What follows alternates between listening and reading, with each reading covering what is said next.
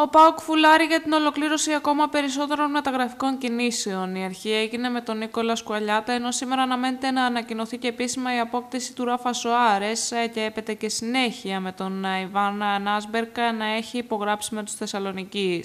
Παράλληλα, ο Ζωσέ Μπότο φαίνεται πως έχει δουλέψει αρκετά και την περίπτωση ενός εξτρέμ που θα ενισχύσει σε μεγάλο βαθμό τη μεσοεπιθετική γραμμή του δικεφάλου του Βορρά. Πρόκειται για τον Σενεγαλέζο Εκστρέμ Κεϊτά Μπαλντέ, ο οποίος ε, διαθέτει ισπανικό διαβατήριο, είναι 27 ετών και τη φετινή σεζόν αγωνίστηκε στη Συρία με τη φανέλα της Κάλιαρη. Ο υποβιβασμός ωστόσο των ε, Ροσομπλού της ε, Σαρδινίας φαίνεται πως φέρνει στην έξοδο τον Μπαλντέ που αναζητά τον επόμενο σταθμό της καριέρας του, καθώς δεν δείχνει ζεστός να αγωνιστεί στη δεύτερη κατηγορία του Ιταλικού ποδοσφαίρου. Στη σεζόν που ολοκληρώθηκε, ο διεθνής Σενεγαλέζος είχε 26 συμμετοχές με 3 γκολ και 2 ασίστα στην Κάλιαρη, ενώ την περσινή χρονιά στη Σαμπτόρια έπαιξε επίσης 26 μάτς, έχοντας 7 γκολ και 2 ασίστα στο ενεργητικό του.